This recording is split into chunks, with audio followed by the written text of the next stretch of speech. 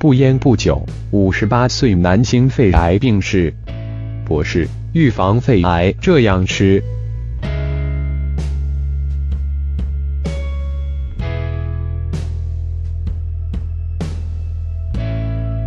编案：从不烟不酒，五十八岁男星经传肺癌病逝。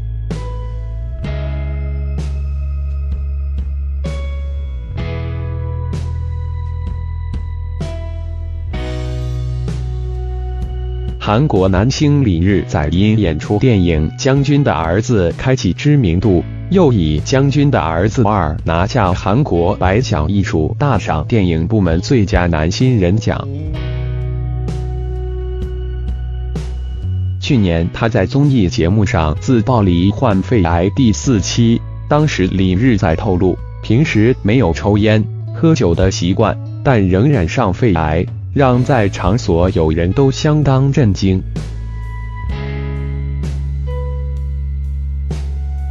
为了不让外界担心，李日仔当时也喊话，希望身体康复之后能够回归演艺圈，复出拍戏。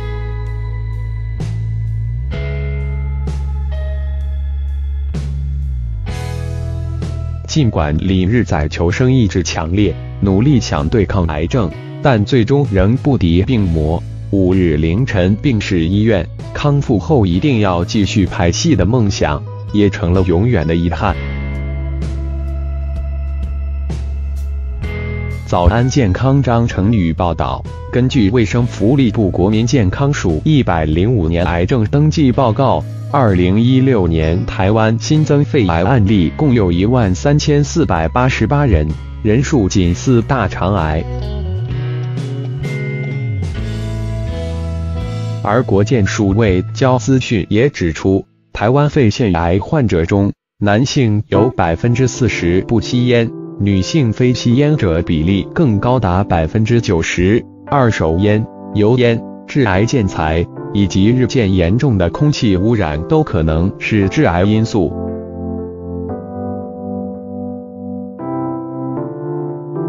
日本药学博士则推荐每天三至四颗温州蜜柑。其中的 beta 隐黄素就有可能帮助预防肺癌。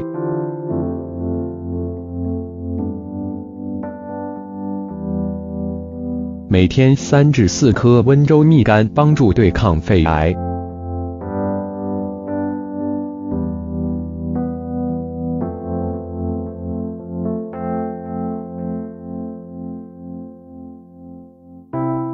日本内科医师大西木子也表示，根据美国研究，亚洲罹患肺癌的女性约有百分之五十没有抽烟习惯，二手烟、建材使用、失眠、下午二点五等空气污染都可能与肺癌有关。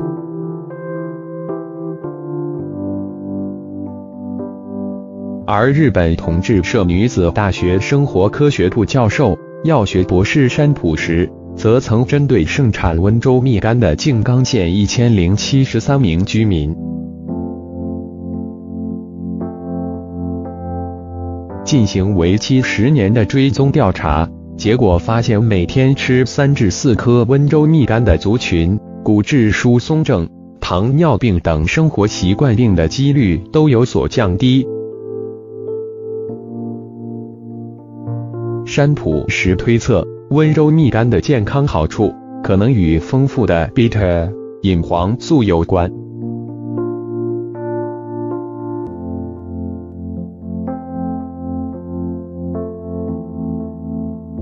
而且根据海外医学研究，摄取 beta 隐黄素可望降低罹患肺癌的风险。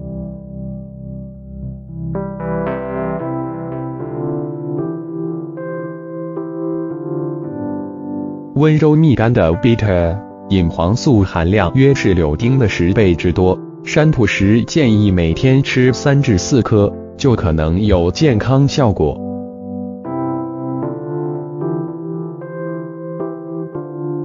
日本一般社团法人，农山渔村文化协会农业技术试点资料也指出，bitter 隐黄素是一种类胡萝卜素，体内的 bitter 隐黄素浓度会受到摄取量影响。国外多项流行病学研究发现，血液中 bitter 隐黄素浓度较高者罹患糖尿病、风湿等疾病。或是肺癌、子宫颈癌、膀胱癌、食道癌等严重癌症的几率都较低。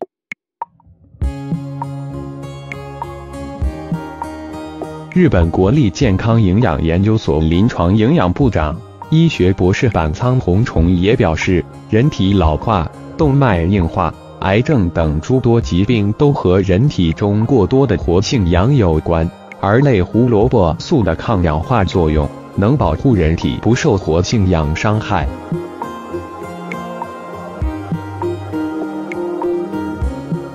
温州蜜柑这样挑吃下最多 bitter。隐黄素。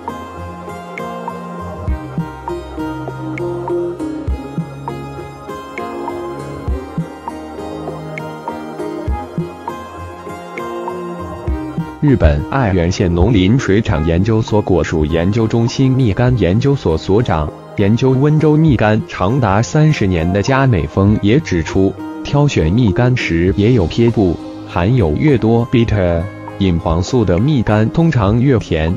他建议透过以下五重点来挑选香甜的蜜柑：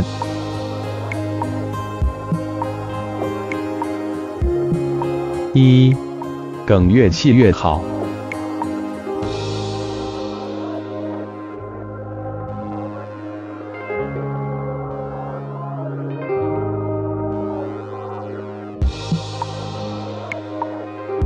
二，地头越黄越好。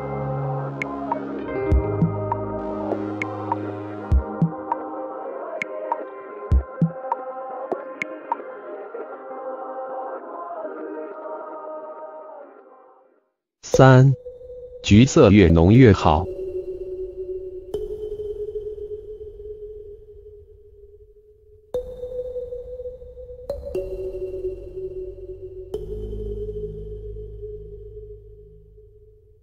四，越小颗越好。